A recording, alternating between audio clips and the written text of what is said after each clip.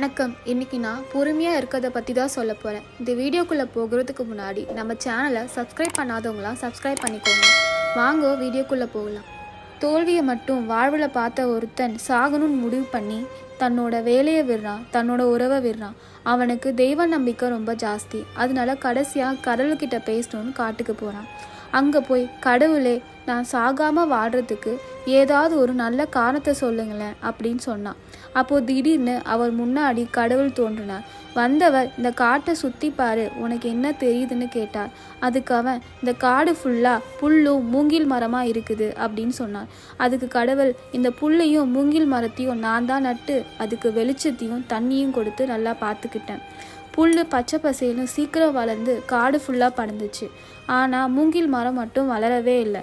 அதுக்குன்னு நான் அந்த மூங்கில் மரத்தை கைவிடல. அந்த புல்லுக்கு தண்ணி ஊற்றுன மாதிரி அந்த மூங்கில் மரத்துக்கும் நான் தண்ணி ஊற்றினேன் அது அஞ்சு வருஷம் கழித்து தளிர் விட்டுச்சு.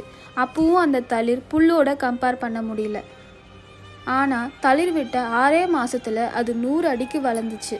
அது அஞ்சு வருஷம் எடுத்துக்கிச்சு தன்னோட வேர்களை வலிமையாக்கிறதுக்கு. அந்த வலிமை தான் அது உயிர் வாழ்றதுக்கு தேவையான எல்லாத்தையும் கொடுத்துச்சு. அந்த மூங்கில் மரம் மாதிரி நீ உன்னோட வாழ்க்கையில் வெற்றிக்கு என்ன தேவையோ அதை மட்டும் பண்ணிக்கிட்டு தோல்வியை கண்டு வருத்தப்படாமல் பொறுமையாக இரு.